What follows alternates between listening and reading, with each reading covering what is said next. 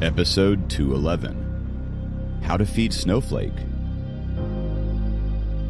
After they got their phones, the twins continued shopping with Jacob. In the past, the sisters would only go shopping by themselves. With Jacob along, they seemed more excited and asked him for his opinions on the clothes they chose. Jacob never had any experience like this before. He didn't really have much understanding of what would look good and what wouldn't. Therefore, he answered them the best he could. Snowflake was rolling around in the space in the necklace, meaning that it was hungry. Therefore, Jacob went to KFC and bought two buckets of chicken before finding a corner to feed Snowflake. However, it was still hungry after eating the chicken. Within two days, Snowflake had already cost Jacob almost a $100 worth of food, not to mention all the food in the fridge at his home that was also eaten by it. This made Jacob wonder if he could really afford to take care of it. Master!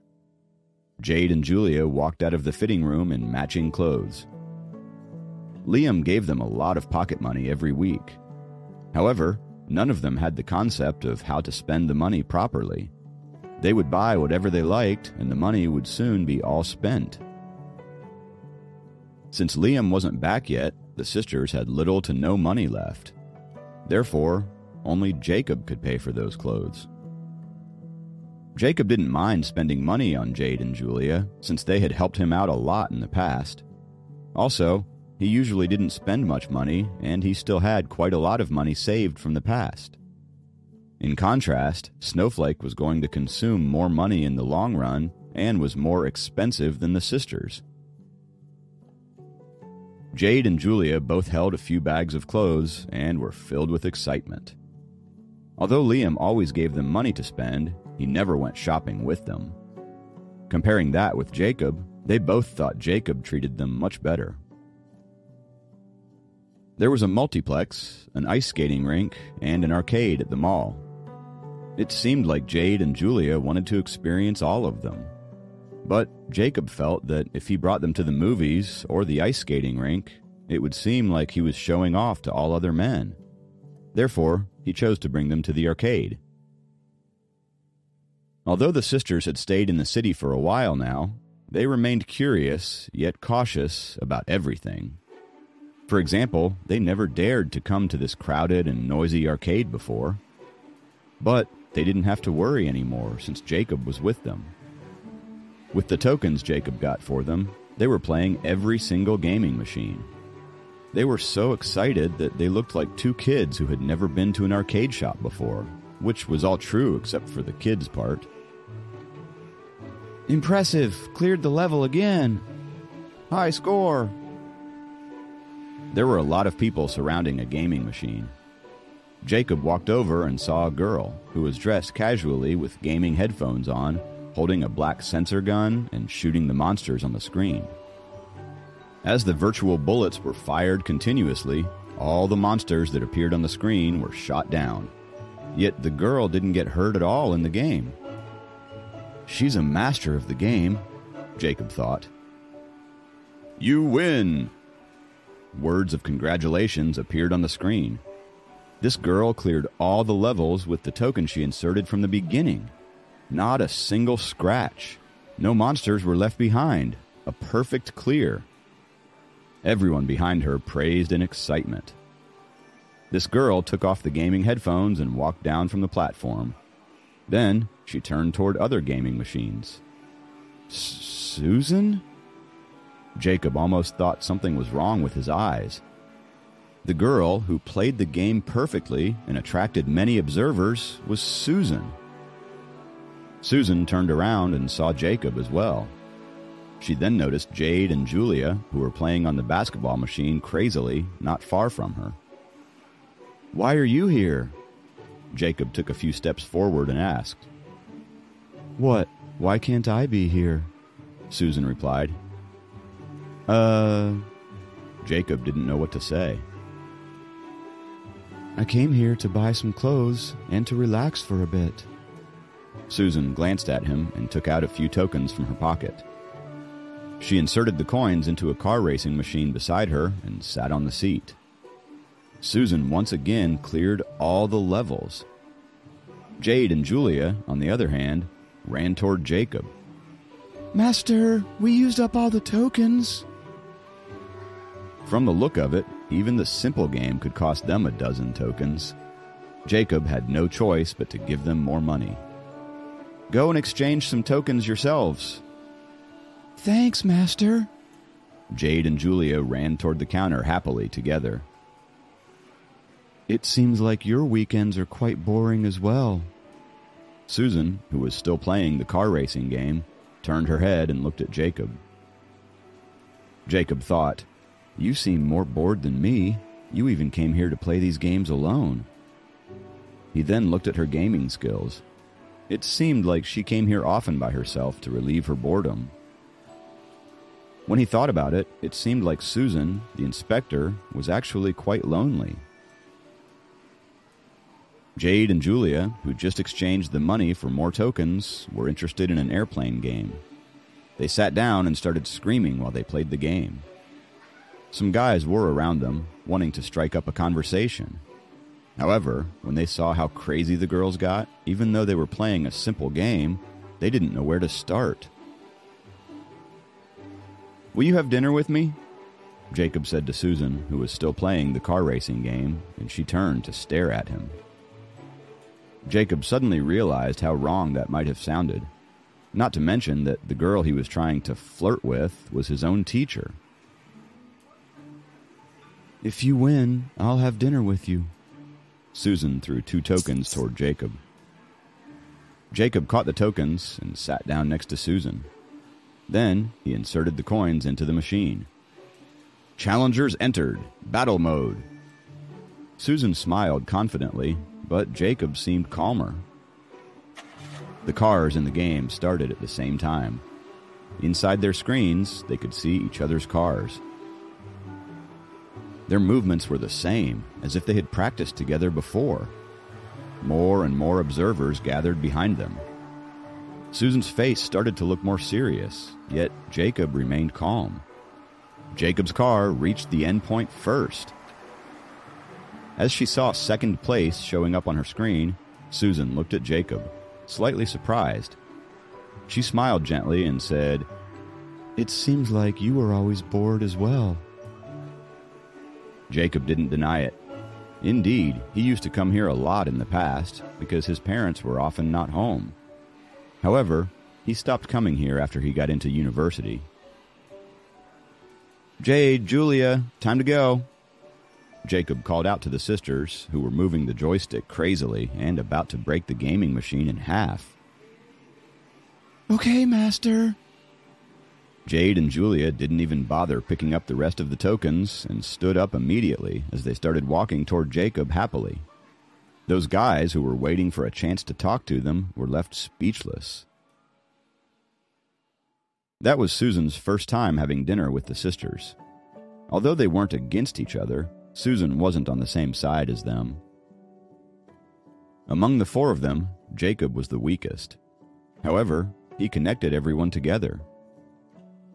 Susan quietly looked at Jacob, who was ordering the food, and suddenly remembered a criterion of the inspectors in the inspector system. It didn't matter who was stronger or weaker. Whoever could solve the problem smoothly was the most influential person. This Jacob, he has the talent of gathering masters around him and making them interact peacefully, Susan thought. Jacob didn't know Susan was thinking about him while he was ordering food. All he noticed was that Snowflake had started rolling around inside the space in the necklace again. Eat, eat, eat. All you know is to eat. One day you're going to kill yourself eating, Jacob thought and said to Snowflake in his mind.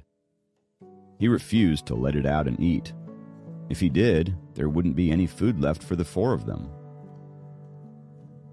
As Susan noticed how Jacob was looking at his necklace repeatedly, she said, You need to feed spirit beasts with elixirs, or you can instill some nature essence in them. They will consume a lot more if they have to capture energy from ordinary food. Nature essence? I have only saved a little bit of nature essence for myself. I will have nothing left if I share my nature essence with Snowflake, Jacob thought. You took me out for dinner today, so I owe you a favor. Susan took ten red elixir pills out from her opal ring. Here are ten pills. Both cultivators and spirit beasts can consume it. One pill can last Snowflake for around one to two days, so these will probably last you about half a month. Thanks a lot, Jacob said. He was just worrying about how to take care of Snowflake. Luckily, no mortal saw what Susan did. Otherwise, they would have thought she was doing a magic trick. Don't mention it. Liam gave me these elixirs, but I don't use them for my cultivation, Susan replied gently. She then looked at Jade and Julia, who were sitting together. She probably felt the growth in their power, from middle tier 7th level to low tier 8th level. She frowned slightly, but remained quiet.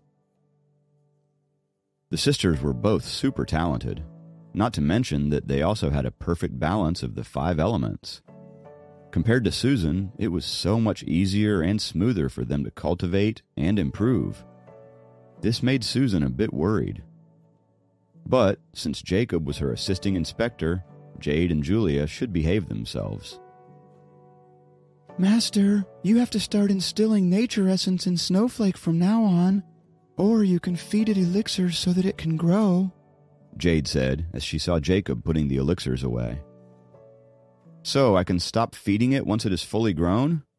Jacob asked them excitedly.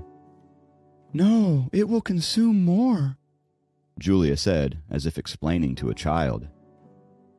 Uh. Jacob was left speechless once again. He pointed at the food and tried to change the depressing topic. Let's just go back to eating,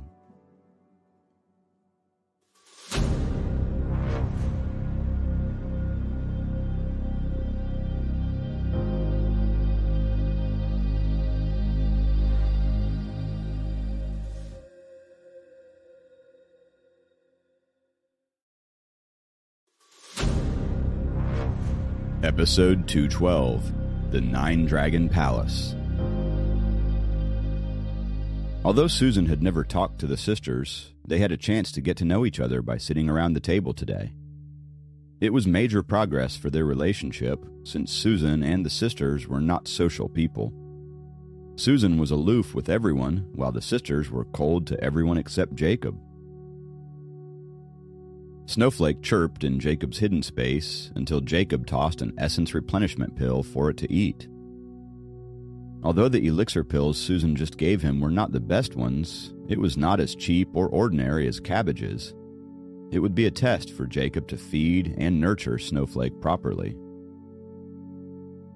After one hour, the dinner came to an end. According to my intelligence network, the South Atlantic is gaining up on the North Atlantic. It's okay for you to tame a demon beast, but you must work harder on your cultivation, Susan advised him before she left. Got it, Jacob nodded. If you have any questions, come to find me, Susan said to him coldly before taking her leave. Looking at Susan's back, Jade frowned. Master, let us go home with you. I need to cultivate in a quiet place. You should go back to your place. Jacob waved off their request, mulling over the hidden meaning in Susan's words. Seeing his serious face, the sisters didn't bother him anymore. They lived at Liam's place, so they had a general understanding of the situation the clan was in. However, they didn't want to interfere as long as Jacob was safe. They rather enjoyed the peaceful college life they had now. After eating the essence replenishment pill, Snowflake slept in Jacob's hidden space while Jacob drove back to his home by the sea. Then, he let it out to play while he went up to his room to cultivate. There were two ways to unlock openings. One of them was to absorb the essence from nature. When the amount of the essence was enough, it would unlock the openings in the dragon core.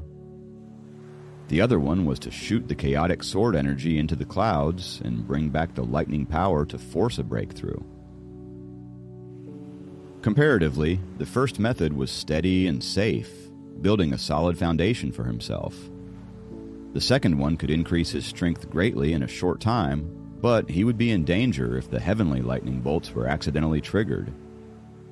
After careful consideration, Jacob decided not to use the lightning cultivation method of the Sword Shadow Scroll until he has reached the third level.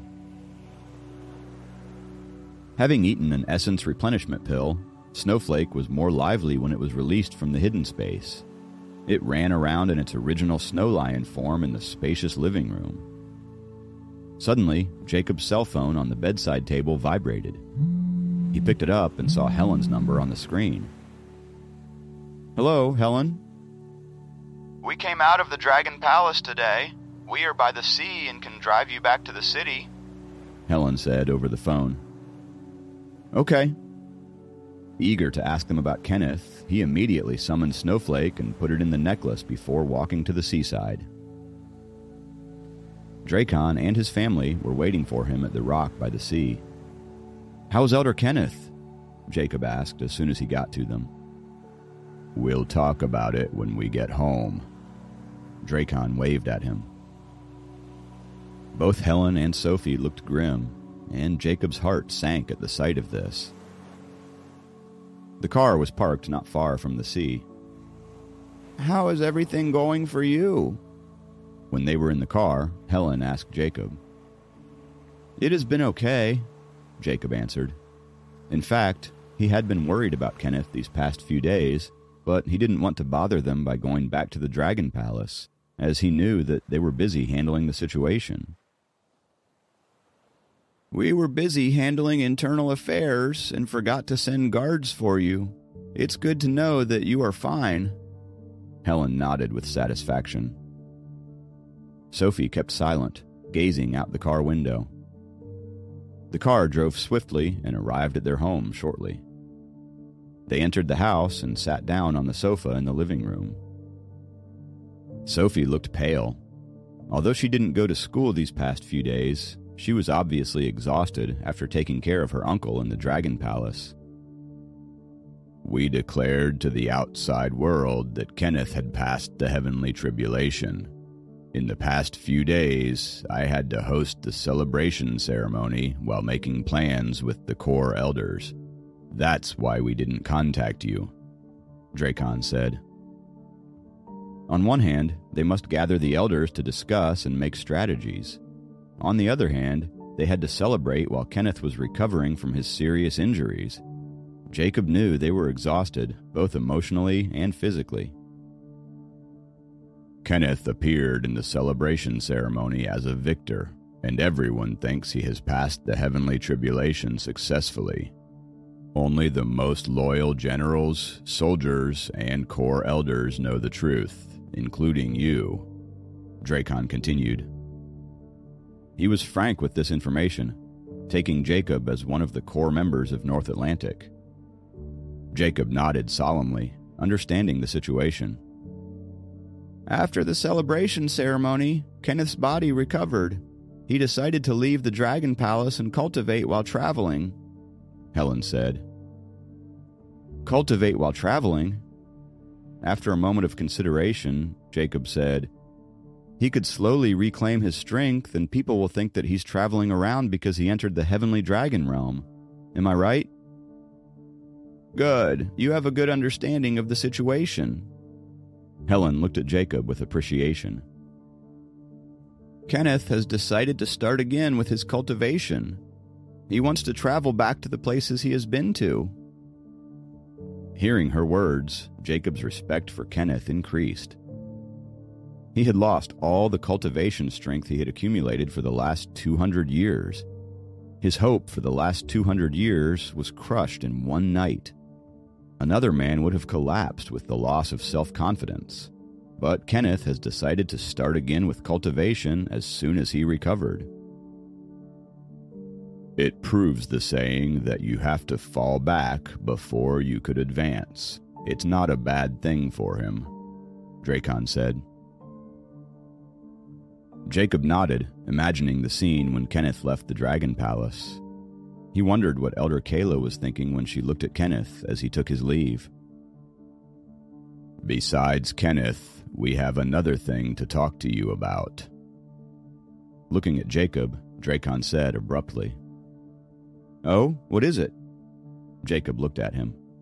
Sophie also sat up straighter beside him.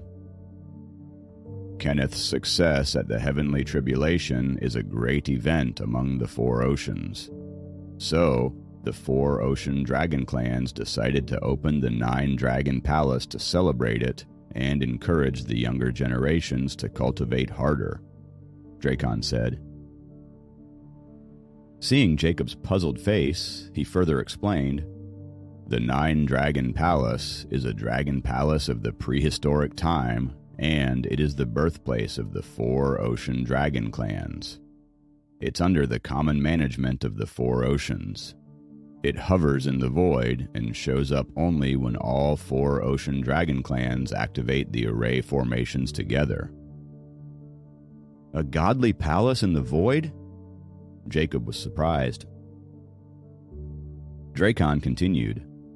The Nine Dragon Palace is activated every 50 years.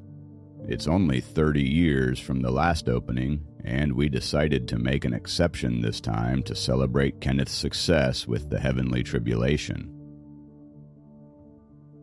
Was it proposed by the South Atlantic? Jacob asked. Yes. Dracon nodded. The South Atlantic is very sly. They proposed to open up the Nine Dragon Palace, the ancestral temple of the four ocean dragon clans, to celebrate Uncle's success with the tribulation. During the event, we will worship the ancestors and report his success to them. If the truth gets out one day, our clan would be guilty of deceit, Jacob said. Dracon's eyes lit up, surprised at Jacob's clear logic and judgment. You are right, we are at a disadvantage now since Kenneth has failed in the tribulation. We have to deal with it step by step. Anyway, the fact that Kenneth is good and healthy and that he is traveling will give them the impression that he has passed the tribulation, and they will not make a move against us rashly. The most important thing right now is that we can't come back from the Nine Dragon Palace empty handed. Dracon was a man of few words, but now his meaningful words and tone showed he had high hopes for Jacob. Jacob, you stay the night here since tomorrow we'll travel to the meeting spot, Helen added. Each time the Nine Dragon Palace opens, only eight people are allowed in there, which means each Dragon Palace sends two of their best young cultivators. We, North Atlantic, decided to send you and Soph to the event. Soph? Jacob was baffled since Soph, without her dragon core, was just an ordinary girl. Right. The Nine Dragon Palace only opens for six hours every 50 years. Except for the Grand Palace where we worship the ancestors, the other places are still unexplored. In this ancient dragon palace, there are many ancient treasures and precious herbs which are very rare and hard to find in today's mortal world. It will be an amazing opportunity for the younger generations, since a top tier elixir pill could help you break through three or four realms in one breath. That's why the four ocean dragon palaces usually send their descendants there, Helen said. Jacob nodded, understanding their intention. Soph was weak in cultivation, but as long as she was qualified to enter the Nine Dragon Palace, Dracon and Helen would get her in. Maybe she would be fortunate enough to find some way in the Nine Dragon Palace to grow another dragon core. If not, she would probably get other benefits. It was a rare chance that came every 50 years, and the leaders of the dragon palaces would certainly give it to their own children. After all, their children would one day inherit the throne. I'll give you specific instructions before you enter the Nine Dragon Palace tomorrow. It's late now. You both go upstairs and sleep, Helen said to Jacob and Sophie. Okay. Jacob looked back at Sophie before standing up from the sofa. They both walked up the stairs slowly. It suddenly dawned on him that Henry would also participate in the event.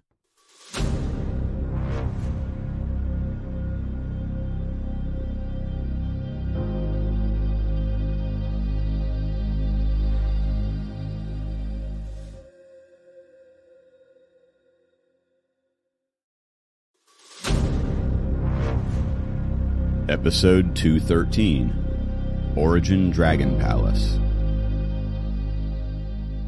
Back in her room, Sophie took a quick shower.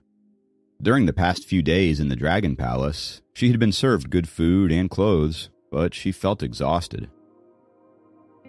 Jacob went in after her. Snowflake was rolling around in his necklace, signaling its wish to come out. In the bathroom, Jacob took a quick shower before letting Snowflake out. Although it was a spirit beast, personal hygiene was still necessary. Jacob grabbed onto the tiny snowflake and cleaned it thoroughly with shampoo and warm water. It was fortunate that it could change sizes. Otherwise, it would be a huge task to wash it in its original form, which was as big as a small elephant. In his pajamas, Jacob walked out of the bathroom, and Snowflake followed him out after flicking off the water on its body. Sophie was reading in bed. At the sight of Snowflake, she immediately called out excitedly, Snowflake! Snowflake jumped into Sophie's bed. After the shower, its long, snow white fur held the fragrance of the shampoo. Sophie caught its front legs and lifted it up. Snowflake purred happily, seeming to enjoy her attention. Mom has prepared another room for you today. She doesn't want you to be tired tomorrow. She turned to look at Jacob and informed him. Oh, okay. You rest then. Jacob understood Helen's intention, as the floor wasn't exactly the most comfortable bed in the world. Walking to the door, he called, Snowflake! Snowflake struggled out of Sophie's hands and jumped down the bed to follow Jacob. Sophie frowned a little when she lost contact with the fluffy lion, but she didn't say anything. Obviously, Snowflake was loyal to Jacob and wouldn't betray him because of Sophie's attention. I'll sleep in the next room, but I can let Snowflake keep you company, Jacob said at the door. You'll do that? Sophie asked hopefully. Snowflake, stay with Soph. Jacob pointed at Sophie. Snowflake paused and understood his instructions. It trotted back to Sophie. Sophie's entire face lit up at Jacob's sweet gesture. After the exhausting stay at the palace, she needed this to get in a better mood. She opened her arms and let it jump into her arms. Snowflake, turn bigger. Patting its body lightly, Sophie gestured to show her intention. Being very smart, Snowflake understood her. It rolled and immediately turned into a chubby snow lion. Pleased, Sophie reached up and threw her arms around the neck of the big version of Snowflake. She used to hug onto a big fluffy toy while she slept. Snowflake's big fluffy body and smooth fur gave her great enjoyment. With its big black eyes and mild personality, she couldn't see a hint of a level 2 spirit beast in Snowflake. Jacob looked at her for a while as she cuddled up next to the snow lion. With a smile plastered to his face, he walked out of her room and shut the door behind him. Snowflake, you sleep on this side. Give me your paw and let me rub it. Out in the corridor, Jacob heard Sophie playing with Snowflake in her bedroom. In the next room, Jacob spent some time on cultivation before going to bed. Soph, Jacob, get up now. Helen called them in the corridor the next morning. Coming. Sophie, who had slept with Snowflake in her arms, ran out of her room in her pajamas. Snowflake shook its head and ran out of her room as well. Cultivating even in his sleep, Jacob immediately woke up after hearing the call. He walked out of his room soon as well. These are two robes for you to wear. You must show your respect and sincerity during the worship ceremony when you are in the Nine Dragon Palace, and you can't wear your daily clothes. Helen handed each of them a robe. They went back to their respective rooms to change. Snowflake looked at Jacob, then at Sophie, and finally followed Sophie into her room.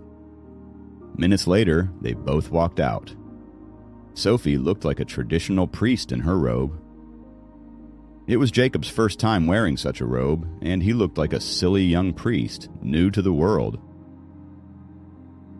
there's only one hour until the designated meeting time, and we need to leave now. Today, you will need a lot of energy, and an ordinary breakfast won't do. Opening her palm, Helen revealed two red essence replenishment pills. These are two essence replenishment pills. Each of you takes one. Smelling the aroma of the elixir pills, Snowflake raised its head and looked at Helen with its innocent big eyes. Okay, you have one too. Helen took out another pill. Jacob and Sophie each took one pill and swallowed it, and so did Snowflake. It was Jacob's first time taking an elixir pill. He felt a surge of warmth rising in his belly and spreading to his limbs. With warmth all over his body, he felt an indescribable comfortable sensation. The dragon core in him shook slightly, as if it was on the verge of a breakthrough. Okay, we need to go now, Jacob. Put away your spirit beast. Seeing a healthy glow shining on their faces, Helen knew the pills had been absorbed. Okay. Jacob beckoned Snowflake, and it immediately shrunk into its mini version before jumping into his hidden space. The hidden space was, in fact, a bunch of complex array formations filled with nature essence, and it was a more comfortable place for Snowflake. However, it wanted to come out frequently because it was curious, and the outside world tempted it. After taking Jacob and Sophie to the balcony, Helen waved her hand, spread out a picture scroll, and asked them to stand on it. Your dad is busy, so I told him not to come with us. When you come out of the Nine Dragon Palace, your dad and I will be there to pick you up. Helen said while she directed the picture scroll to rise slowly. Sophie nodded and looked down at this item. Well, it is the River Mountain painting. It has been a long time since the last use. This time, we'll have to go to Fifth Heaven, and ordinary treasures can't fly there. Soph, you must stay close to Jacob after you enter the Nine Dragon Palace. Don't mess around, Helen instructed her. Got it, Mom. Sophie nodded seriously, understanding the importance of the day. Helen smiled at her before waving her hand upward. The spread out scroll emitted seven colored light beams and turned into a rainbow.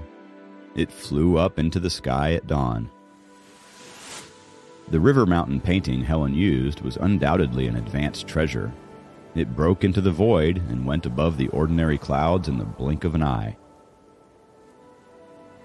Since mortals could reach the first four heavens, this fifth heaven was where the human cultivation world began. The immortals lived in ninth heaven and up, so the range between fifth heaven and eighth heaven was a buffer territory between the mortal world and the immortal world. The dragons could move under fifth heaven freely. According to Helen, the wood, water, fire, and earth elemental dragons could soar as high as seventh heaven, while the metal elemental dragons could reach the eighth heaven. When Dracon took Jacob to the sky to watch the process of rainfall creation, it seemed high for Jacob. However, it was only on the second heaven. The airplanes flew above the ordinary clouds, but it was still within the first heaven. Comparatively, fifth heaven was much higher. Even with treasures, the River Mountain painting, which was a super fast traveling treasure, it took them half an hour to reach fifth heaven. The seven colored light beams broke through a pale blue array formation and got through a thick layer of auspicious clouds. Fifth heaven! Standing on the River Mountain painting, Jacob looked around and saw numerous green mountains.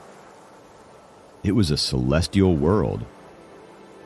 Standing in front, Helen checked the direction and steered the painting forward.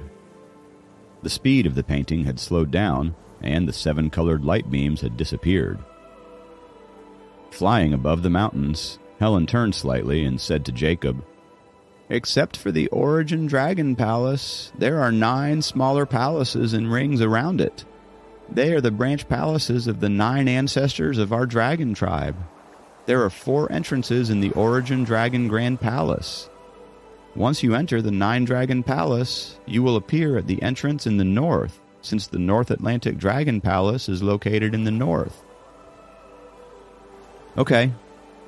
Jacob listened attentively, knowing that the trip was crucial and would probably influence the development of their clan in the next decades. This is a map. From an ordinary looking ring on her finger, Helen took out a scroll. This map has the route of the Origin Dragon Palace and the information about the parts of the nine branch palaces that we have so far explored. Jacob took the map and opened it with Nature Essence. He found that the map was very detailed in some parts and vague in other parts. This map is the result of the efforts of several generations it's very precious, and you must make sure it doesn't fall into other people's hands, Helen warned Jacob.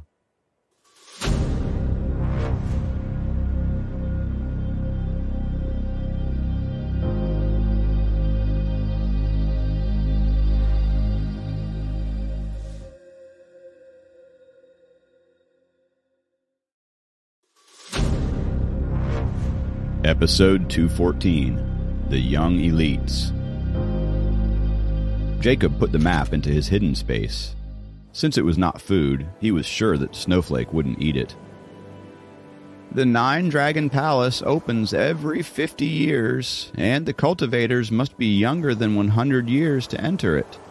Of course, it would be a waste of an opportunity to allow cultivators who are very young into it Usually, the opportunity was given to those who have 50 to 60 years of cultivation experience, and that was why no one could enter the Nine Dragon Palace twice. Dracon and I entered once and didn't bring back anything extraordinary, Helen said, with regret in her voice. Mom, I'm a lucky girl. I'll get good stuff this time, Sophie said enthusiastically. It's not as easy as you think, Although the Nine Dragon Palace has no traps in there, it's not absolutely safe. Helen looked at Sophie seriously, and the latter immediately shut her mouth. Helen turned to Jacob. The Nine Dragon Palace is protected by prehistoric array formations. Although the palace has been in desolation for thousands of years, the major array formations are still operating. The Origin Dragon Palace is in the center of the Nine Dragon Palace, while the nine small palaces surround it. However, their positions are not fixed. Each time people go in, they would find that the positions of the small palaces have changed. Since the time interval is 50 years, each person only had six hours to explore it, and the four Ocean Dragon clans don't share information. No one knows about the movement patterns of the nine small palaces. With the current information, no one can be sure if they move according to astrology or some other factor. Which branch palace you will enter and what kind of treasures you can get is all based on luck. Which small palace did you enter last time? Jacob asked. We entered Fifth Palace and got this River Mountain painting, Helen answered. Can we only take one treasure? Jacob asked immediately. No, you can take as many as you can. Except for the items in the Grand Palace, everything else in the Nine Dragon Palace is a legacy left by the ancestors of prehistoric times and can be taken with you. In fact, the Four Oceans came up with the solution of opening the Nine Dragon Palace every 50 years because we couldn't agree on a distribution plan of the fortunes. So each time the Nine Dragon Palace opens, each ocean would send out two young cultivators to take everything they can with their luck and abilities. It seems that you and Dad were not very powerful at the time. Sophie raised her head and said. Helen smiled helplessly. Jacob saw her expression and knew that he and Sophie were even weaker. One of them had just reached the second level, while the other didn't even possess a dragon core. All in all, if you can take back three ancient treasures or elixirs, it will be a big success. If you get two, it will be good. If you get one, it will still be better than nothing. Helen turned serious and said, Okay, Sophie and Jacob said in unison. While they were talking, the River Mountain painting had flown into the center of a round valley. Jacob looked down and saw that some people were already gathered in the meadow below them. Among them were Grandmaster Hank and Henry. Helen steered the painting and landed on the meadow slowly. Mrs. Helen! The representatives of the East Ocean and West Ocean came over to greet her. Elder Rose, Elder Gary, how are you? Helen greeted them with a smile. Since each ocean sent only two cultivators and one representative who led the way, there were altogether 12 people there. Henry's partner was a boy who looked a couple of years younger than him. He was probably Henry's little servant. East Atlantic's team consisted of one guy and one girl who were in their mid 20s. They were holding hands and looked like a couple. West Atlantic's team was made up of one guy who looked 20 and one girl who was about 18. They looked like brother and sister. Mrs. Helen, you are the last to arrive. I thought you were too afraid to come. Grandmaster Hank glanced at Helen and said in a cold tone, well, since South Atlantic is eager to open the Nine Dragon Palace, how can we not join in on the fun? Helen replied breezily. We proposed to open the Nine Dragon Palace so that the young elites of the four Ocean Dragon Palaces can come and practice. But, from the looks of it, you are in dire need of talented youths, right? Grandmaster Hank looked at Jacob to Sophie and said sarcastically. Helen didn't want to argue with him. She looked away, pretending to have not heard his remarks. As the most senior and most powerful cultivator in the group, Grandmaster Hank stopped his offensive comments after Helen ignored him. He snorted disdainfully. Eight people were going to enter. Jacob and Sophie were respectively a second level cultivator and a mortal, the couple from the east were young elites, and they both had reached top tier fourth level. Their clan had already arranged for their dual cultivation. This time, when South Atlantic proposed to open the Nine Dragon Palace, they had eagerly agreed, hoping that this young couple could take this opportunity to gain another breakthrough. The siblings of the West were the oldest son and second daughter of the Crown Prince of the West Atlantic Dragon Palace. They had both reached the third level and were charging at the fourth level. Henry had reached the third level half a year ago, and his servant was just an assistant to him. Henry would enjoy all the treasures they get in the Nine Dragon Palace. Jacob and Sophie were the weakest pair among the eight cultivators, and probably even among all the participants in history. After all, the weakest participant so far was at the low tier third level. That was why Grandmaster Hank mocked them, and Helen had no choice but to ignore him. This opening was only 30 years after the last time, and the four ocean dragon palaces had sent relatively young cultivators to participate. Twenty years later, the Nine Dragon Palace would open again and then again after another 50 years. It meant that any cultivators under 20 years of age could be able to enter the Nine Dragon Palace three times if they were given the opportunity. That was why they had all sent young cultivators who were all royal descendants. Well, it's almost time. The Nine Dragon Palace will show up any minute now. Sensing the undercurrent, Elder Rose and Elder Gary looked up into the sky and tried to smooth things over. In fact, the East and West were prompted by South Atlantic to agree to the extra opening, since they stated that the reason behind the proposal was to celebrate Kenneth's success in passing the heavenly tribulation. The North Atlantic had no reason to say no.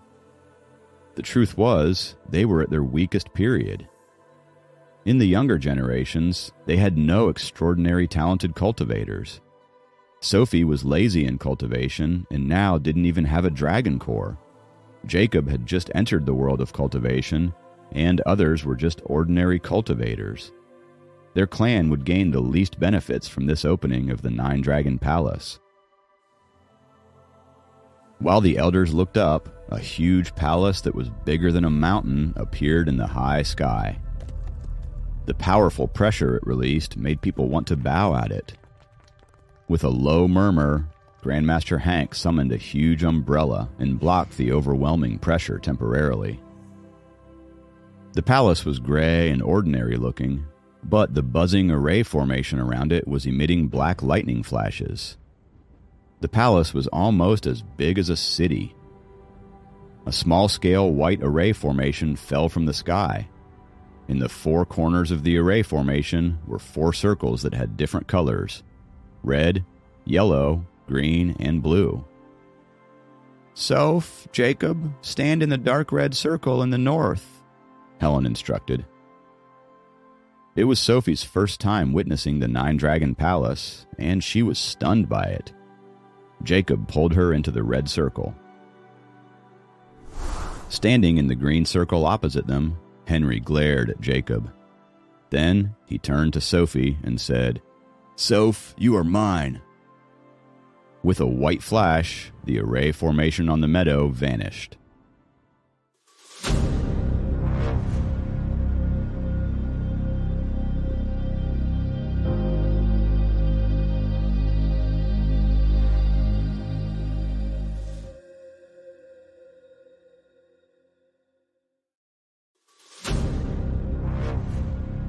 Episode 215 The Tower of Heaven.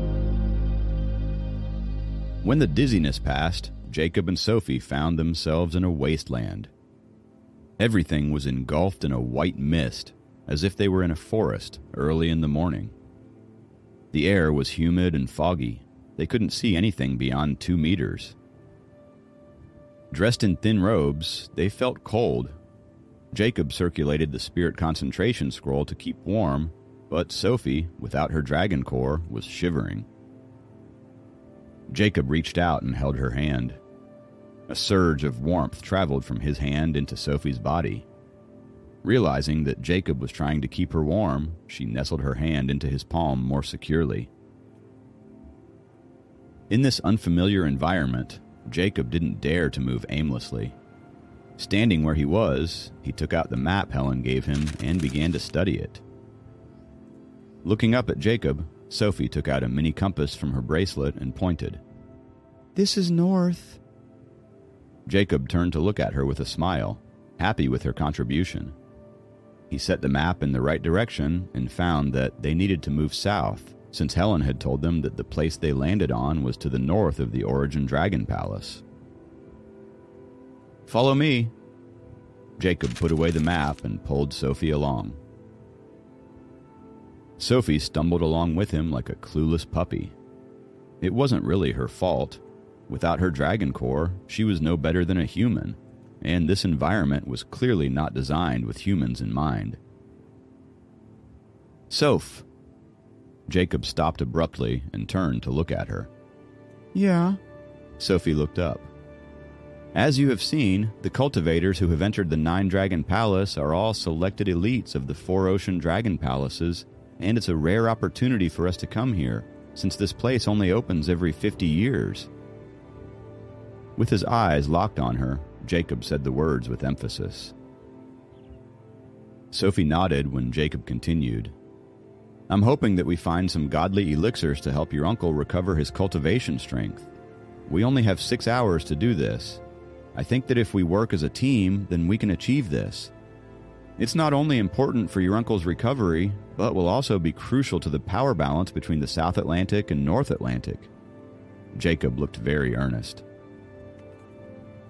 He explained his whole plan to Sophie in hopes that they would make a good team.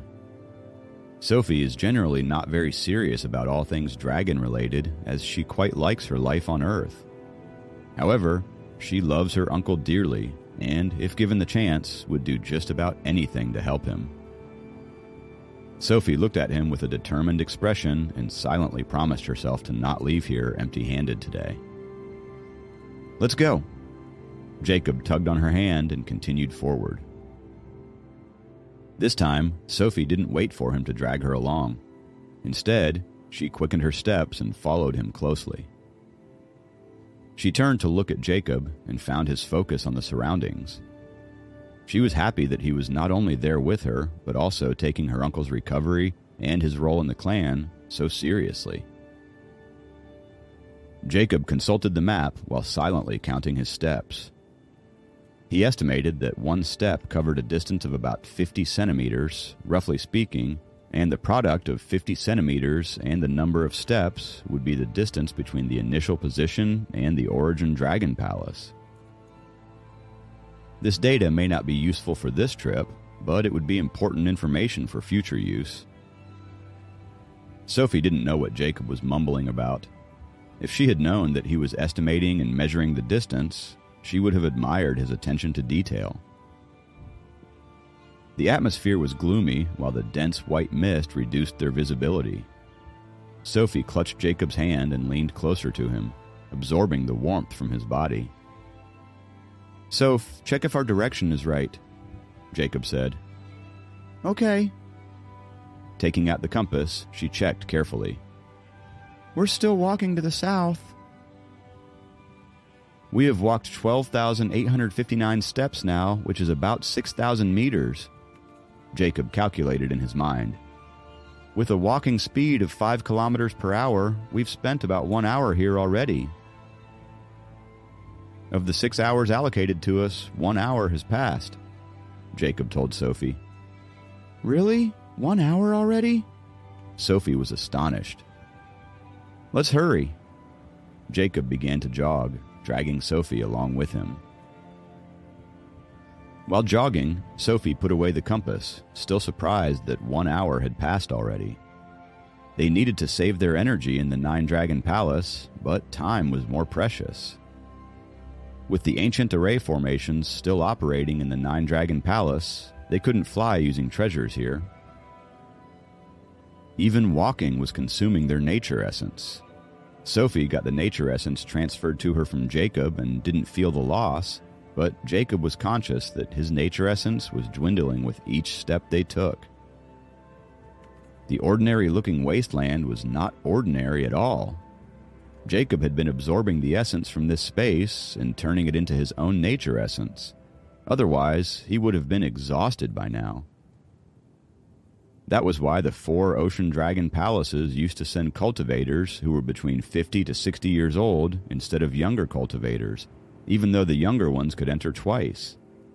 After all, the weak cultivation strength of young cultivators was not even enough to be consumed by the wasteland in the Nine Dragon Palace.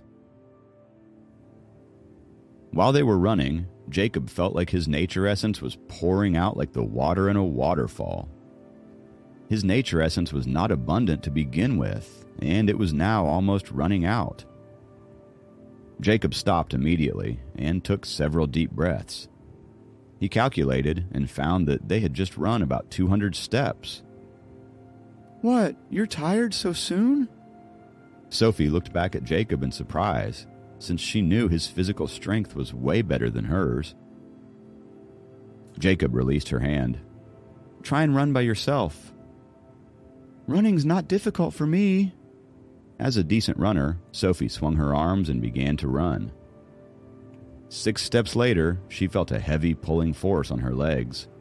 She lost her balance and fell to the ground. Seeing her awkward posture, Jacob couldn't help but laugh. He walked over and pulled her up. Sophie's eyes widened, finally realizing that Jacob had been dragging her along with his nature essence till now. Let's continue, Jacob said mildly as he grabbed onto her hand. Sophie nodded and blushed. She even felt like her hands were hot. Sophie turned to look at Jacob while walking. Do, do you think I'm a burden? What? Jacob froze and then said to her, No, of course not. You know how to read a compass, right? Red faced, Sophie pursed her lips and gave him a timid look. Is that all I can do? Let's move on. Burden or not, you're with me today. Jacob quickened his steps and tightened his grip on her soft hand, dragging her with him. Sophie slowed down a bit and looked at Jacob's side face, suddenly feeling touched. The white mist surrounded them, and the visibility there was only half a meter. If it were not for the compass, Jacob would have thought that they were totally lost. They were wondering how much more distance they needed to cover when the black grand palace made of huge rocks appeared before them. Even though the tower was in a cylinder shape, the foundation was in a square shape. They looked up and found that the top was not visible in the white mist. The Tower of Heaven. As it was called on the map, the huge tower made with huge crude rocks greeted them with a surge of prehistoric essence. Sophie tugged at Jacob's arm and leaned toward him. How much time is left? We have walked 16,389 steps, which is about 8,000 meters. It took us about one and a half hours, Jacob answered her. Then we still have four and a half hours. Sophie nodded. She realized she had been walking with Jacob, hand in hand, for more than 10,000 steps. She released her grip slightly, but seeing the Black Palace, she became afraid and grabbed Jacob's hand again, slightly embarrassed. Oblivious to her little movements, Jacob opened the map and began to study it. The entrance was a bit further from where they were. After entering the palace, they could follow the route that was drawn by earlier explorers and enter the core region of the Dragon Palace. Let's go, Putting away the map, Jacob pulled Sophie toward the entrance of the Grand Palace.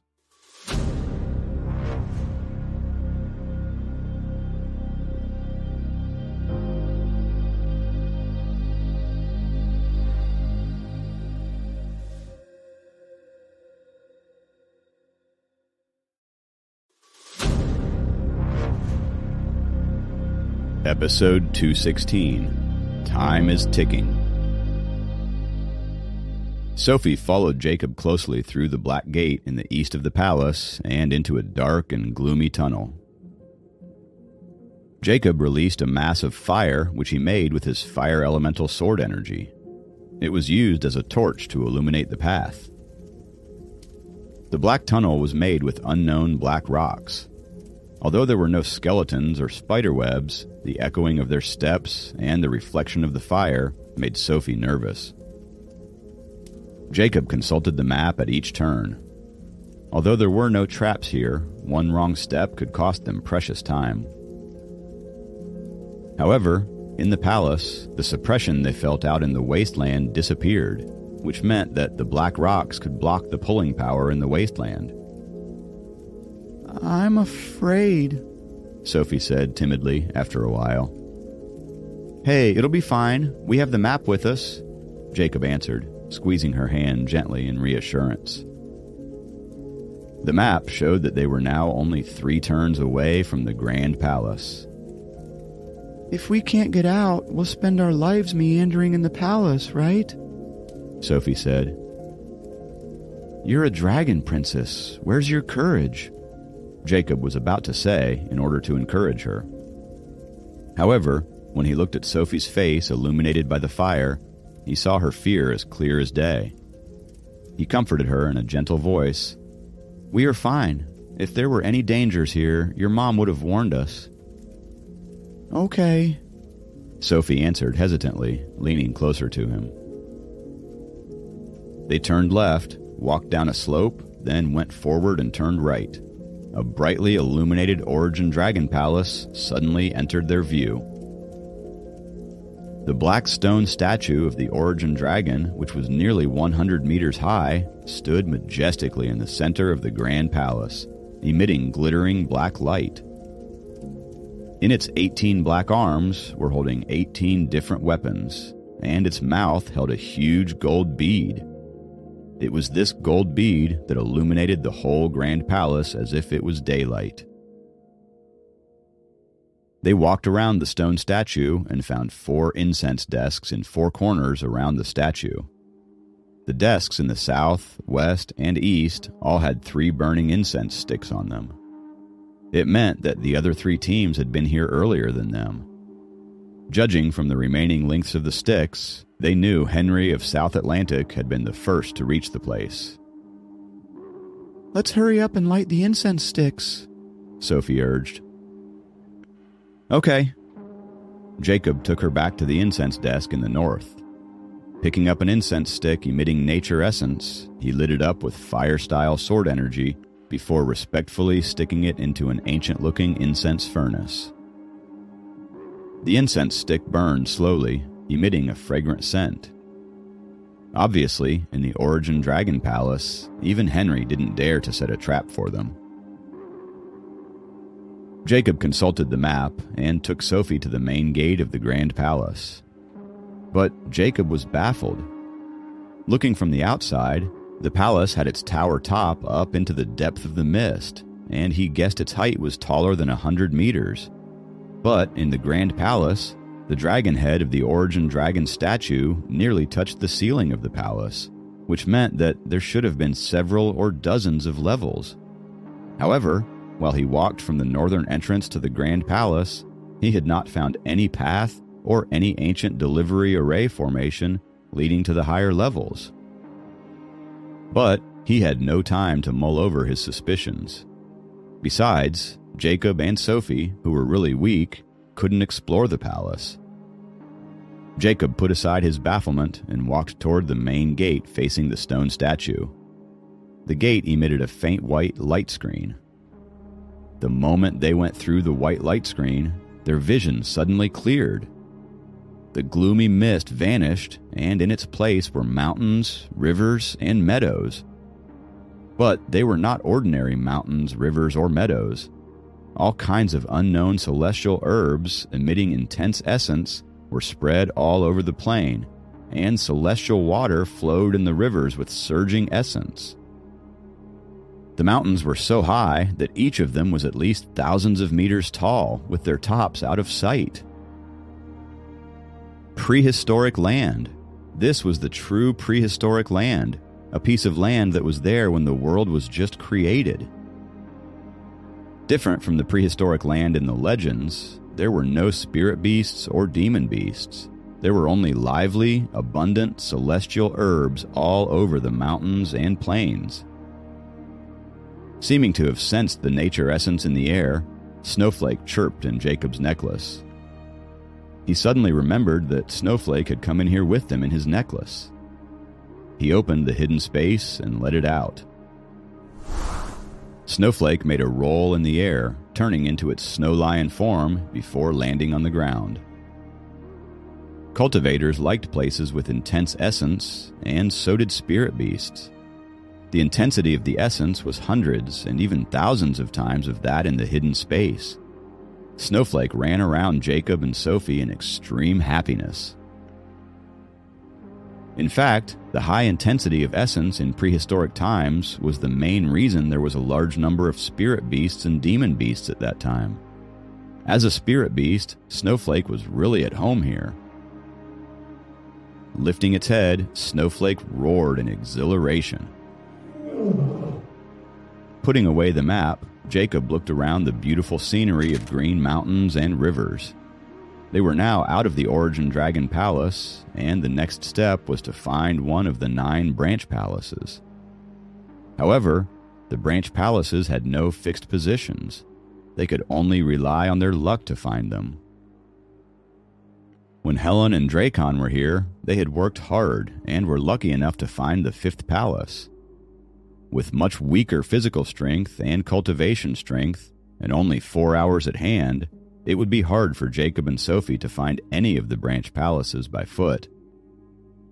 Soph, you tell me which direction we should go.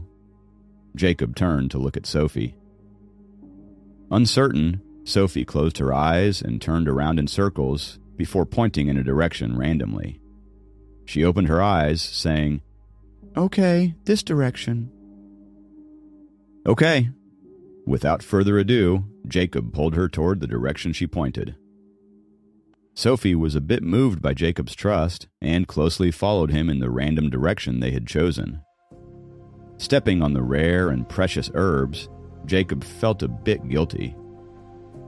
His mission now was to find a branch palace. If they couldn't find one, they would pick some of the spirit herbs as compensation. Anyway, his hidden space was as big as a room. A room full of different kinds of celestial herbs would be valuable for making elixirs.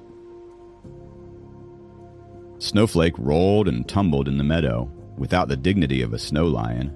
It looked just like a large dog. When they reached the end of the plain and came to the foot of the nearest mountain, Sophie was fatigued. Under the power of the ancient array formation in the palace, they couldn't fly on a sword, and walking was their only method of transportation. To find a branch palace, they must climb to the top of a nearby mountain so that they could have an overview of their surroundings and probably spot a branch palace up there. Thinking of climbing up the mountain, which was at least 400 meters high, red faced Sophie began to pant. Snowflake ran around Jacob and Sophie, wagging its head and tail happily. Damn you, Snowflake! You are so energetic, but I'm dying of exhaustion. Sophie sighed as she pet Snowflake on the head. The demanding dog laid down on the ground and exposed its belly, inviting Sophie to rub it. With an exasperated laugh, Sophie rubbed its belly and rolled her eyes at the so called spirit beast's antics. Suddenly, an idea dawned on Jacob. Soph, you can ride Snowflake. Huh? Sophie didn't understand. With its size, it can carry you with ease. Jacob squatted before Snowflake and patted its face, getting it to stand up. Are you sure I can ride it? Looking at Snowflake, who was like a huge dog, Sophie hesitated and asked Jacob. The lazy snowflake has been eating without working. Now we have some work for it. Jacob walked over and held down Snowflake's neck before helping Sophie to get on its back. At first, Snowflake was a bit reluctant and began to bend its legs. But one pat on its rump from Jacob made it immediately stand up. Obviously, Snowflake needed some urging to do its work. Sophie had ridden horses in the park, but she had never ridden a lion. Sitting on its back, she felt a bit nervous. With a height of nearly one meter, Snowflake was as big as a pony. Let's get up to the mountain top. Jacob gently clutched the mane beside Snowflake's ear and led it up the mountain as if he was walking a horse. With the Dragon Core and Sword Shadow Scroll, his physical strength was enough to sustain him, as long as the land here didn't suck out his nature essence. Snowflake, go! Sitting steadily on Snowflake, Sophie treated it like a horse. Snowflake looked morose, seeming regretful of its decision to come out of the hidden space. There was no clear path on the mountain to climb, and this made climbing it especially difficult. Time ticked away, and Jacob felt the pressure. However, he could do nothing about their slow speed. In prehistoric times, people had to rely on their natural strength, instincts, and possible innate powers, since no one could cultivate them at that time. The people born in prehistoric times had climbed the mountains step by step, like he was doing right now. They definitely didn't fly on swords. Sitting on Snowflake's wide back, Sophie picked some red, green, and blue fruits from the low bushes and fed them into Snowflake's mouth. When they finally reached the top, Jacob calculated silently and found that another hour had passed. In the past hour, he had quickened his steps almost to a jog, and even Snowflake had begun to trot under his urging. The trees on the mountain top were not dense, Standing on the highest rock, Jacob looked into the distance. Around him were vast stretches of plains and tall mountains. Riding on the back of Snowflake, Sophie came to his side. She widened her eyes and also looked carefully for the clues of branch palaces. Over there! Over there! Sophie suddenly yelled in joy. Jacob followed her gaze and saw a black spot in the center of a faraway plain. It's too far. We can't reach it in time at our current speed, Jacob said. Disappointed, Sophie began to search other places. In this big world, the nine branch palaces seemed very tiny. Even with an eagle eye view, they were just some small black dots if they were hidden behind the mountains. Jacob circulated the nature essence and concentrated it in his eyes. He had a clear view of grasses in the area several hundred meters around him and could make out things several miles away. Over there! Jacob pointed to the direction ahead on his left and said,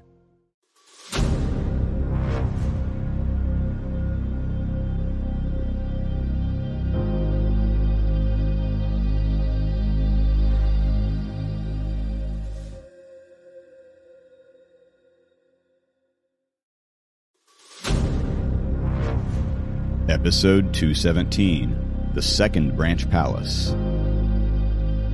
Sophie widened her eyes and looked hard, but couldn't see it. However, Jacob had a clear view of the branch palace concealed at the foot of a mountain.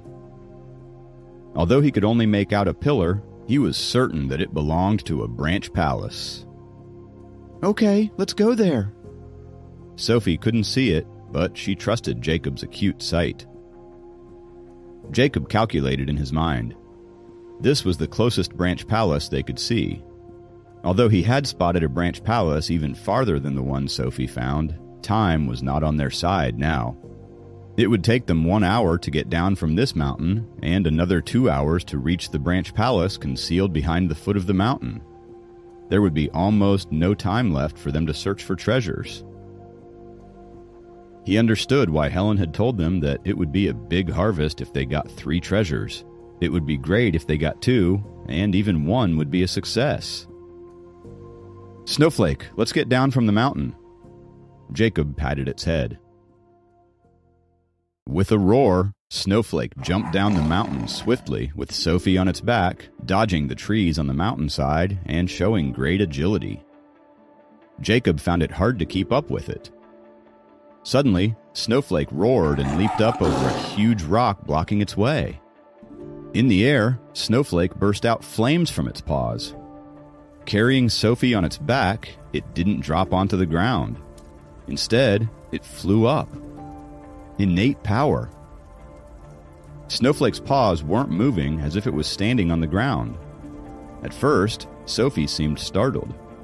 But soon, she began shouting in joy. Snowflake! Jacob clapped his hands. High up in the air, Snowflake was awe inspiring. Pedaling its paws, it returned and landed on top of a rock. Oh, Snowflake, I love you so much. With her arms around Snowflake's neck, Sophie almost started rolling on the ground with it in her arms. Similarly, Jacob was also surprised to find that Snowflake was able to fly. Overjoyed, he patted its back and got on as well. Snowflake, let's see if you can do it. Jacob patted it again. Snowflake let out a lasting howl while exerting force through its limbs.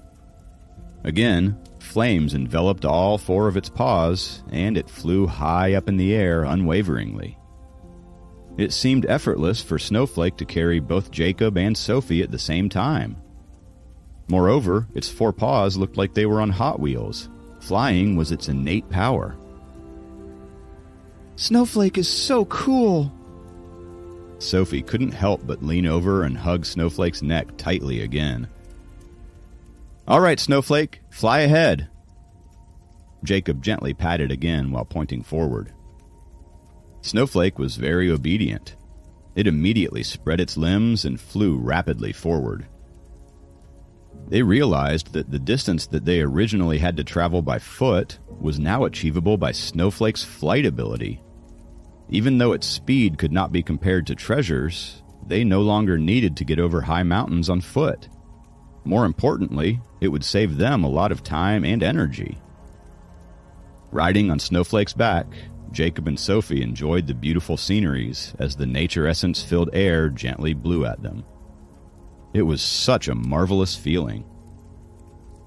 Moreover, seated in the front, strands of Sophie's hair fluttered in the wind, and they continued to tickle Jacob's cheeks. As her back kept on touching his chest, Jacob couldn't help but sense a hint of romance. Sophie felt completely at ease, and was silently appreciating the vast prairies and the continuously rising and falling mountains below her feet. Jacob quietly held onto her by the waist to prevent her from falling off Snowflake's back. Extremely delighted, Sophie even opened up her arms to feel the breeze head on. Nervously, Jacob held onto her waist tighter. For a second, he felt like their poses were extremely familiar. We're here! Snowflake, descend! Seeing that the branch palace was now right beneath them, Jacob quickly gave out the order while pressing down on Snowflake's back with his palm. Proudly, Snowflake let out a couple more roars and directly descended. The Black Palace was similar to the Origin Dragon Palace, as they were both built with black colored stones. Right before the door, there were two stone statues holding various weapons. They each had the body of a dragon and head of a jackal. The Second Palace. This branch palace that was partially hidden away by the foot of the mountains was the Second Palace. Just from studying the two stone statues, Jacob could tell immediately that various offensive treasures were awaiting them inside. Snowflake, go in! Jacob opened the hidden space in his necklace and asked Snowflake to crawl in. This branch palace was the closest to the origin dragon palace, so they were expecting Henry and the others to be in here as well. Jacob did not want them to see that Snowflake brought them here. Come on, let's go in. Jacob dragged Sophie and stepped inside the palace. Different from the halls in the Tower of Heaven, this palace did not give off an eerie vibe as it was spacious and bright. Jacob and Sophie directly walked into the main hall. This main hall was in a square shape. Its width and height each were a few hundred meters, Instantly, Jacob and Sophie saw countless treasures flying above them over a white light veil. The treasures were not fancy looking and seemed rather dark and dull. However, while floating in midair, they gave off an incredibly intimidating sensation. What looked good was not necessarily powerful. Every one of these primitive looking ancient treasures could be more powerful than the combination of a dozen top tier treasures. At this moment, underneath the sea of treasures, Henry and his servant, the couple from the East Atlantic, and the siblings from the West Atlantic were all striving to acquire the treasures they desired. There were at least a hundred of those treasures dancing in the air. Therefore, they did not have to fight over them. All they needed to do was choose the ones they desired and focus on obtaining them using their nature essence. The arrival of Jacob and Sophie surprised the other teams. It seemed like the others believed that Sophie and Jacob were too weak and might not even be able to walk out of the Origin Dragon Palace, let alone get to the Branch Palace. Right now, they were all releasing their nature essences and working on obtaining the primitive looking treasures. Henry cultivated Three Star Destruction Scroll. His palm emitted a dash of blue light, and this light formed a rope. Currently, it is tightly wrapped around a black axe that was high up in the air. Next to him, his servant had gotten a hold of a black jade flute. Dear Soph, what a lucky idiot your prince must be for being able to bring you here. While exerting his nature essence to acquire the big black axe, Henry turned and said to Sophie and Jacob. He couldn't help himself from spewing vicious remarks when he saw Jacob holding Sophie's hand. Henry, one more word from you, and I'll knock your front teeth out. Sophie was furious as she shouted back at Henry. Henry paid no attention to Sophie's anger. The most important thing right now was acquiring the treasures. He believed that there would be plenty of chances for him to deal with Jacob in the future. Jacob smirked faintly as he shot out sword energy from his finger. The gray sword energy rolled into a ball in the air and hit right into the blue light that was being emitted from Henry's palm. With a fizz, the blue rope made of nature essence instantly fractured, and the black axe, which was making its way to the edge of the white light veil, went back to its original position. The sword energy was capable of cutting through all five elements. Hence, the ball that was made of concentrated sword energy was undoubtedly able to sever Henry's nature essence. A whole hour of Henry's effort was destroyed. Henry, who was elegant and gentle looking, had now become enraged. He glared at Jacob and yelled, How dare you! Jacob did not flinch. After all, he was not afraid of Henry, who was a few years younger than him. He remained calm and pulled Sophie back to his side, stopping her from going forward to confront Henry. Clenching his teeth and shaking his hand, Henry's hatred towards Jacob was apparent as he took out a golden spear. Although he was young, he already had his own natal treasure,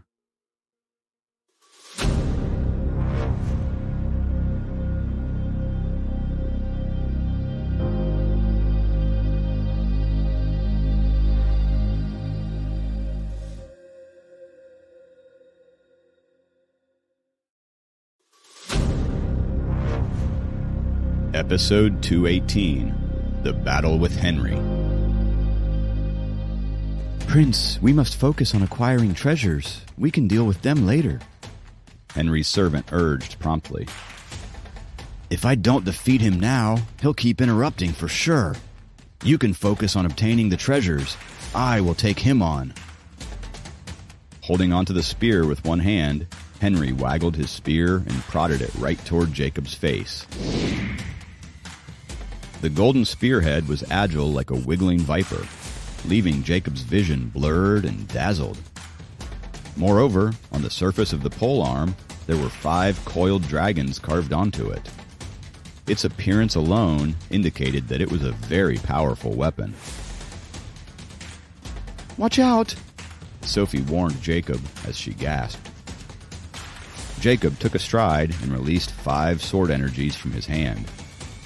They were like five small missiles bombing onto Henry's spear. At the same time, he pushed Sophie away so that she could stay farther away from the battle. Is that all you've got? Henry simply switched from holding the spear with one hand to with both hands, and his golden spear did not take the least bit of damage. His movements were agile and varied greatly. He was coming at Jacob ferociously and violently, a good indicator of quite a few years of training. As the future of South Atlantic Dragon Palace depended on him, even if no one were to discipline him in his daily life, he would never neglect his cultivation and practice of weaponry skills. The cultivation technique he had was the best in the South Atlantic, and so were the spear techniques that he practiced. The spear prodded into Jacob's shoulder before abruptly changing its course and almost slashing Jacob's throat. Spears were regarded as the king of all cold weapons. They were long and sharp, easy and versatile to handle, and refined and unique. Ordinary weapons could not compete with them, not to mention that Jacob was unarmed. Prince, let him go this time. We need to hurry and acquire the treasures. Henry's servant advised again. I'm going to poke a hole in him. Henry quickly withdrew his spear and swung it around, then aimed for Jacob's chest. On the other hand, the four young cultivators from the East and West Atlantic were striving so hard to get the treasures in the air that sweat had fully covered their foreheads. Even though they were paying close attention to the fight in the main hall, they had no intention of intervening. After all, a battle between the other two clans could do them no harm. Jacob sent out two bursts of concentrated sword energies from his palm, barely managing to block off Henry's spearhead. Still, with the impact, he immediately had to take five steps backward. The power of a natal treasure could never be taken lightly. However, as Henry was burning with rage and impatience, his spear techniques became chaotic and disorderly. He was unable to win the duel promptly. Noticing that, his servant shouted out loudly again, Prince Henry, we need to focus on the big picture and let go of personal grudges now. Shut up! One more word and I will cut you up as well. Henry was losing his patience and collectedness. As soon as a hit missed, he would swing the spear again and keep closing in on Jacob. Therefore, when Jacob had to take five steps backward, Henry immediately took five steps forward. His anger had been fueling since he saw Jacob holding Sophie's hand. Not to mention, he was still upset and furious over the incident at the birthday party last time. Jacob, don't fight him head on. While watching, Sophie warned Jacob worriedly. It was not the treasures that she was worried about, but Jacob's safety. The couple from the East Atlantic had worked collectively and retrieved the first treasure, it was a charcoal colored rope. The second it was yanked out from the white light veil, it began giving off an extremely powerful aura. Pleasantly surprised, the couple placed the rope around their waist before sending out Nature Essence unitedly for their second treasure. Henry was filled with envy. Yet he still wanted to prove himself and teach Jacob a lesson. As he took his anger out on Jacob, his attacks with the spear became even messier. Jacob now had his back against the wall of the main hall, and Henry's spear was speeding towards his forehead. Prince, you cannot kill him. Working hard on obtaining the black jade flute, Henry's servant saw what was happening and quickly reminded him. I'm going to end him. Henry's eyes had turned bright red due to his urge to kill. Revolving the golden spear smoothly in his hands, he prodded it right towards Jacob's forehead again. As the crown prince of the South Atlantic, he had always done what he pleased. In his eyes, the North Atlantic could not hold a candle to the South Atlantic and should only swallow insults and humiliation quietly. In an instant, Jacob released a few dozen sword energies that he summoned in his palm at once. Like a few dozen mini missiles, they all exploded on Henry's body. Although his gilded robe had defensive functions, it was not able to withstand the bombing of the five element sword energies. Several large holes appeared on the robe. Following Henry, under the impact, the golden spear, which was only a few centimeters away from poking into Jacob's forehead, had also backed away. Cheater! Seeing that his robe had been torn, Henry threw his spear right at Jacob forcefully. Shuddered with worries and fears, Sophie couldn't help but start moving closer while she watched. Five elemental sword energy, release! Once again, Jacob's palm released two fierce sword energies. As the sword energies clashed with the spear, the golden spear's power was reduced and it slowed down. Then, Jacob opened the space in his necklace and commanded, Seize! The golden spear entered and disappeared right into Jacob's chest. Although it was Henry's natal treasure, he now could no longer sense the existence of his own spear. At this moment, the siblings from the West Atlantic had also got their very first treasure. Soph, let's go. Jacob dragged Sophie and headed for the door of the palace. Given no time to process what was happening, Sophie could only follow Jacob. Greatly shocked, Henry realized that his natal treasure had been seized by Jacob and immediately began going after him.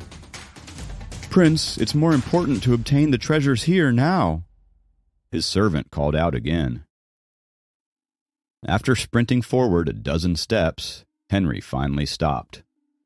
Gritting his teeth, he sent out a burst of blue nature essence from his palm, which pierced through the white light veil and began assisting his servant in obtaining the treasures. As they were the first to arrive, they believed they had sufficient time and decided to each work on obtaining one treasure first. Then they could make time to get the third one together Judging from their current situation, it would be extremely fortunate if they were able to obtain even one treasure. it was almost impossible for them to retrieve the second one. At this moment, Henry was seething with hatred. He had already achieved the third level and had his own natal treasure. Yet he couldn't even defeat Jacob, who was merely at the second level. Following Jacob out of the palace, Sophie looked at him with doubts. Are we not going to try to obtain the treasures? We need to find elixirs. Acquiring treasures is not what is most important. Tapping the necklace on his chest, Jacob summoned Snowflake. At this time, Snowflake was toying with Henry's golden spear in the space. After jumping out of the space, Snowflake began rolling around on the grass, acting like a spoiled child. Seeing to it, Jacob gently kicked Snowflake in the butt, and it instantly rolled over obediently and became the gigantic snow lion that it was. We still have time to go to the next branch palace. Pulling Sophie with him, Jacob sat on the back of Snowflake and shot out a burst of very faint sword energy to stimulate the fur around its rear, causing Snowflake to let out a growl and fly into the sky at once. With its paws unleashing fire, Snowflake soared freely in the sky. As there was not much time left, Jacob's decision had put everything at stake. If they didn't have Snowflake, he would definitely have stayed at the second palace to try to retrieve a treasure. However, with Snowflake's flying ability, there were more possibilities for them.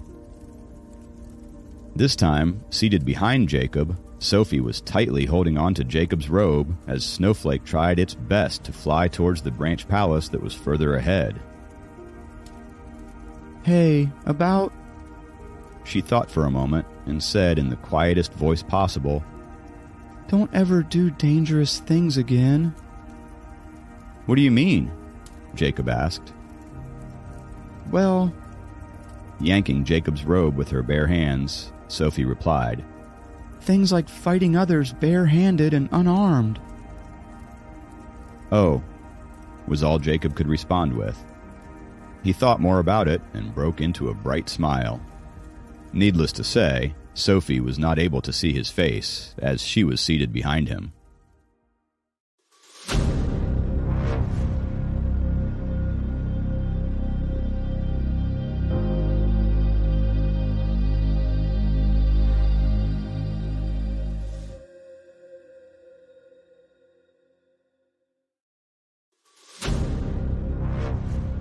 Episode 219 One Palace to Another. How were you able to seize Henry's spear? Sophie inquired again. The space inside my necklace is as big as a room. I can take in 50 or 60 of them, let alone just a single one. Jacob answered with a laugh. Last time, he tried putting the bell he got from the sisters into the space to test it, and found that the sisters were not able to detect the bell anymore. From then on, he had thought of another way to make use of the space, just that he hadn't had the chance to try it out until now. Anything that was within a certain range and had nature essence could be seized through mind control. For one, Henry's natal treasure certainly had nature essence, and its size also did not exceed the limit of the space. Therefore, Jacob was able to seize it without a doubt. With that being said, if the opponent were a lot stronger than he was, Jacob would not try to seize things hastily. Even this time, he was lucky to be able to take full advantage of the fact that Henry had no clue what was to come. After all, a natal treasure and its user were connected and could communicate directly. Thus, if Henry suddenly puts his spear away, the space might not be able to suck it in.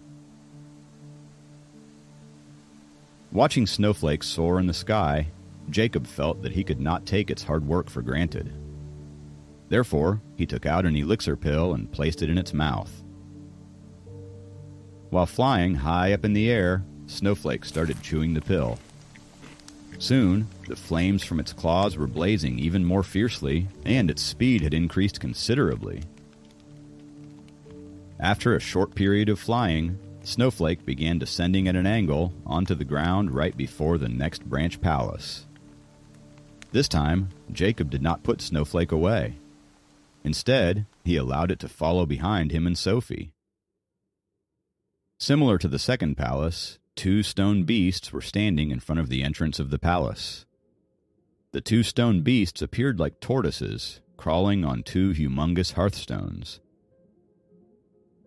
This is the sixth branch palace. It stands for immense strength, Sophie stated as she recognized the stone beast.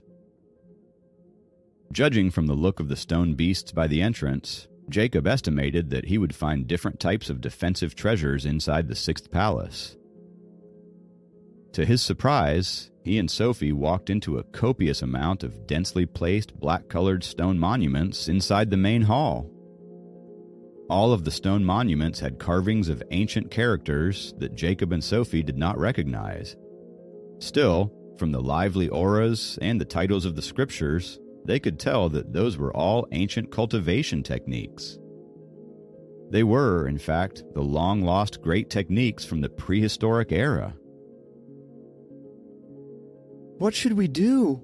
We can't take them with us. Let's memorize them then. As her eyes lit up, Sophie's voice emitted a sense of urgency. Now that they had finally made it into the next branch palace, there was no way they were leaving empty handed. Look carefully. These cultivation techniques were not complete. The writing is all in paragraphs, and it seems some key sentences are hidden amongst the stone monuments. We will have to find the pattern to activate the gear somehow. Only then will be able to acquire the complete cultivation techniques from the corresponding stone monuments. Jacob lowered his head and watched Sophie. Think you can do it? Sophie responded quickly by frantically shaking her head. It would only waste their time trying to achieve something that seemed impossible. Let's go then. Grabbing her arm, Jacob headed for the door. Sophie could not take her eyes off of the stone monuments, as she was unwilling to leave empty handed again. I know there's not enough time, but we can still copy down an incomplete one and bring it back to study it. Even when they were already outside, Sophie couldn't help but repeat her suggestion. Let's gamble one more time and see what happens with the next branch palace. Once more, Jacob pulled Sophie onto the back of Snowflake. He, too, understood that there was not much time left. Now, whether they could make it smoothly to the third branch palace and obtain anything useful would be a true test of their attitude and mentality. Otherwise, if they were able to get to three branch palaces in a row, but were unable to obtain anything, it would be a tragedy.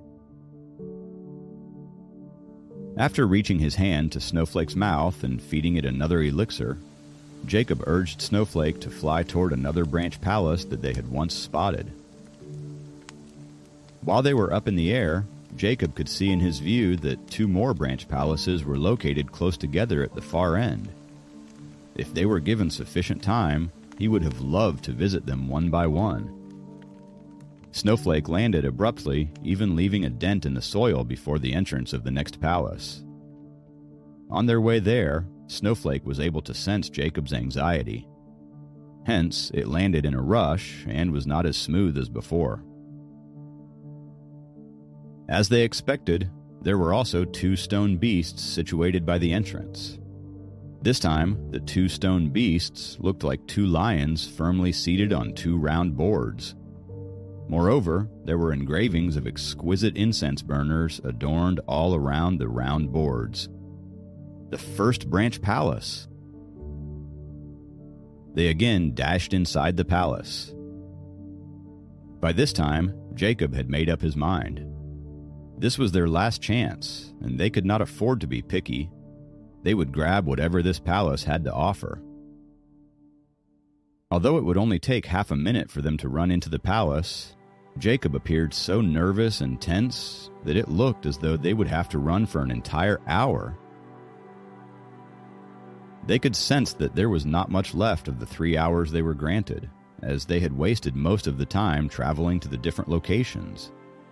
Jacob and Sophie realized that they could be expelled by the Nine Dragon Palace any time now. Soon, the view of the main hall finally appeared in Jacob and Sophie's sight.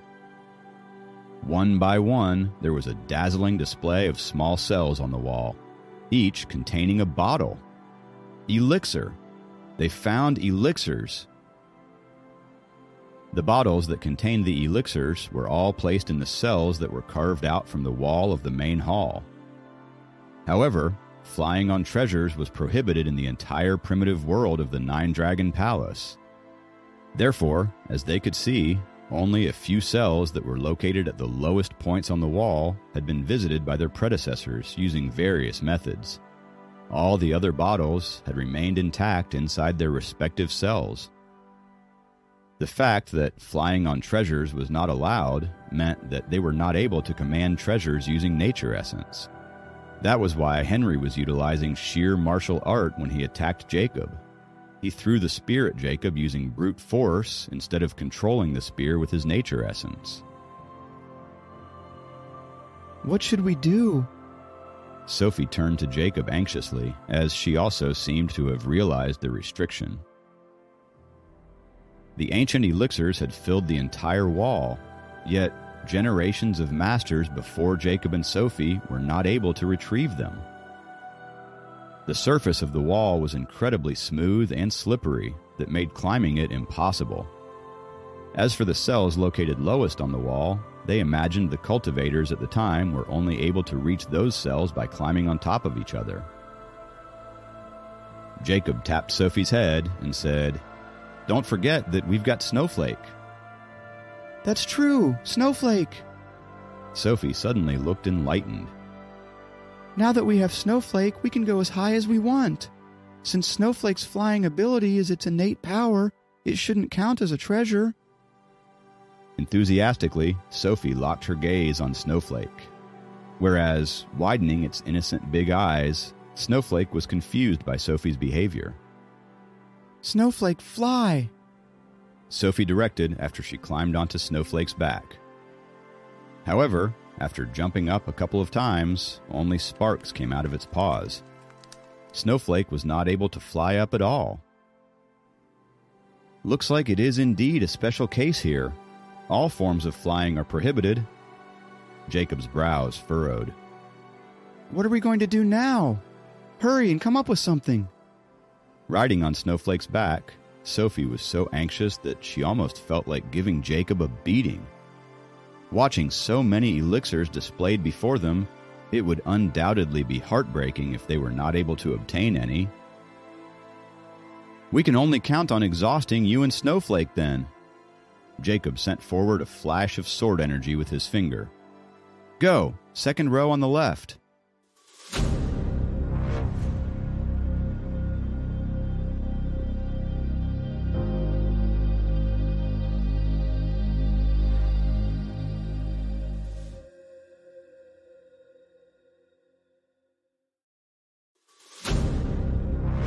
Episode 220 Ancient Elixir.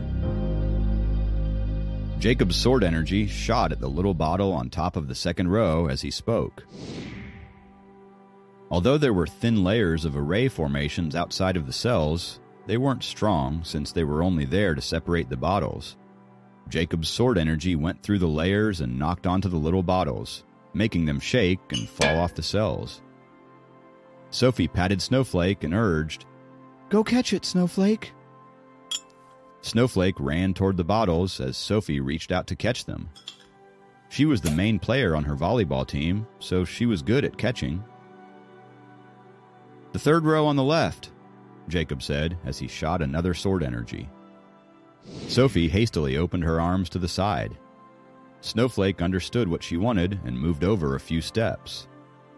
The sixth row on the left. Jacob shouted again.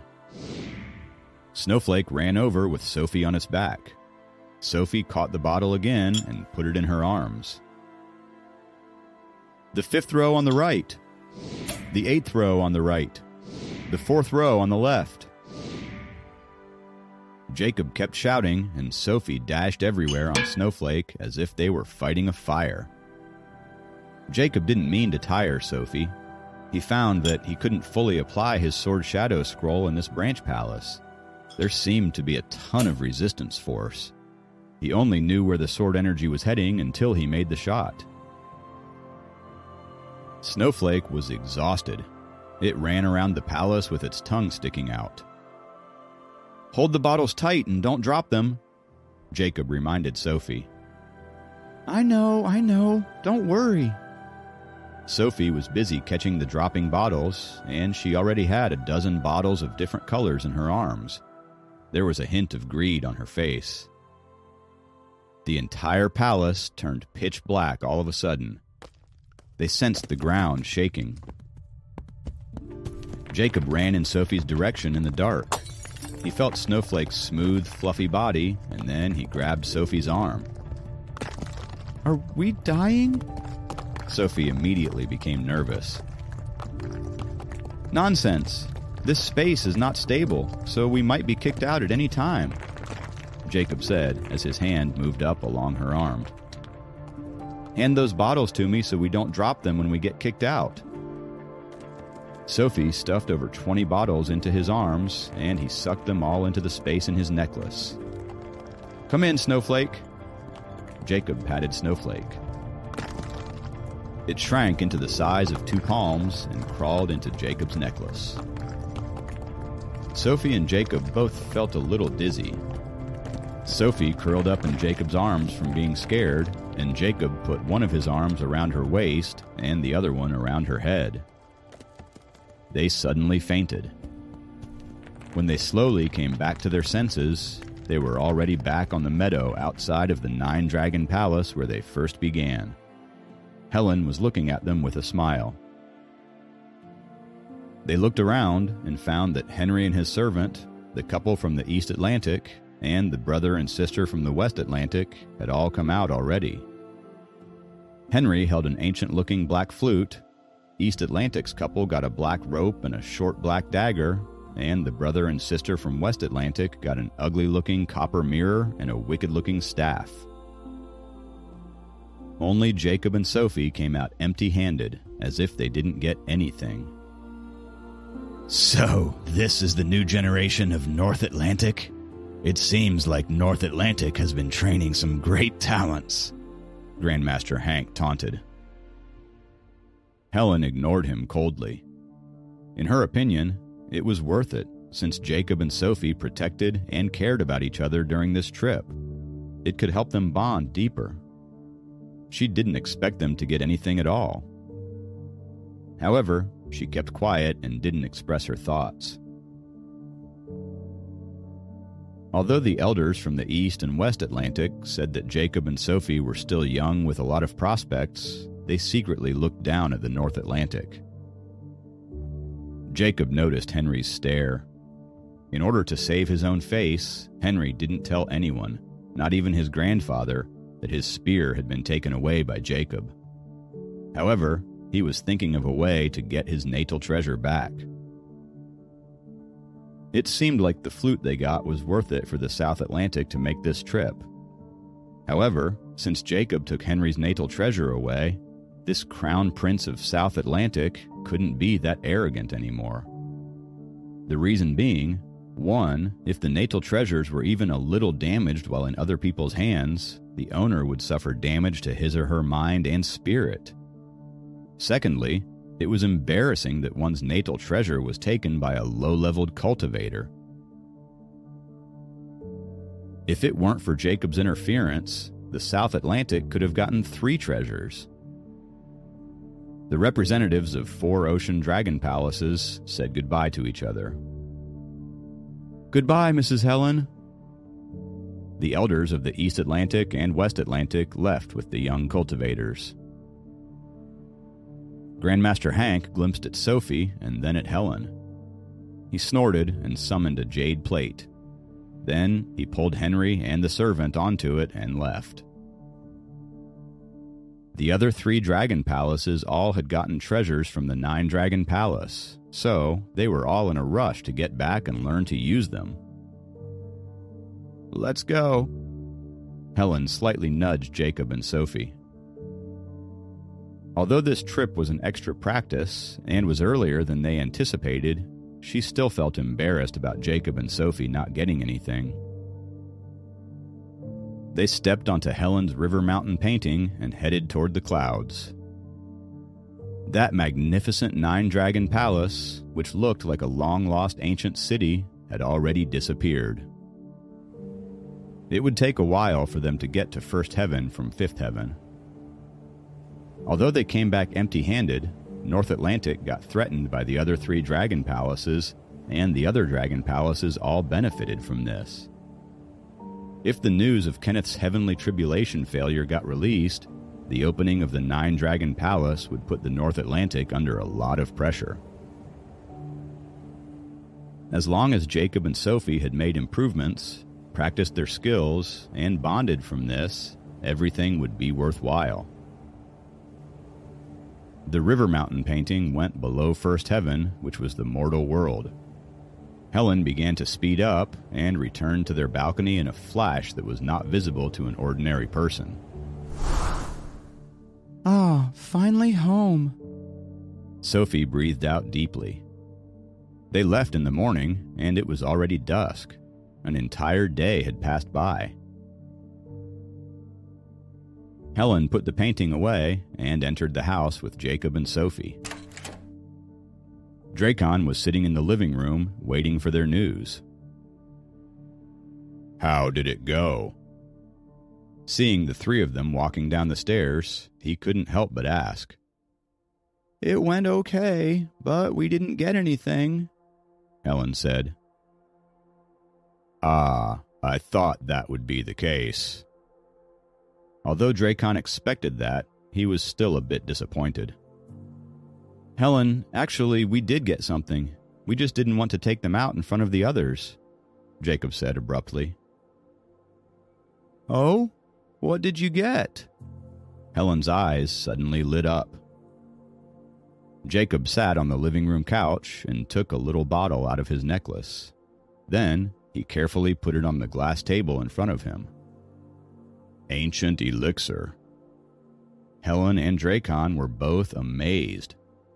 But Jacob slowly took out another bottle. Helen and Dracon were astonished. Then Jacob took out another bottle and put it on the table. Then another one, then another one. Dracon and Helen were both stupefied, even though they had seen many amazing things. It is always better to hide away your wealth, Especially now, the North Atlantic needed to conceal its power and wealth more. Instead of showing off in front of Grandmaster Hank, it was a better idea to hide these elixirs and leave others to believe that they didn't get anything. On the other side, the university's electromechanical engineering professor was complaining. Jacob Brown from the sophomore year is getting more and more ridiculous. It has been a few days since he attended any classes. Professor, don't you think we should give a warning to a student like this? He thinks he can do whatever he wants just because of his connection with Susan. I think we should proceed with the warning. As you said, he skipped classes without any prior notice. Yeah, teach him a lesson. The professor made up her mind as she knocked on the desk. Suddenly, the door was pushed open and the head of their department walked in. Professors, here is a note for you from the vice principal.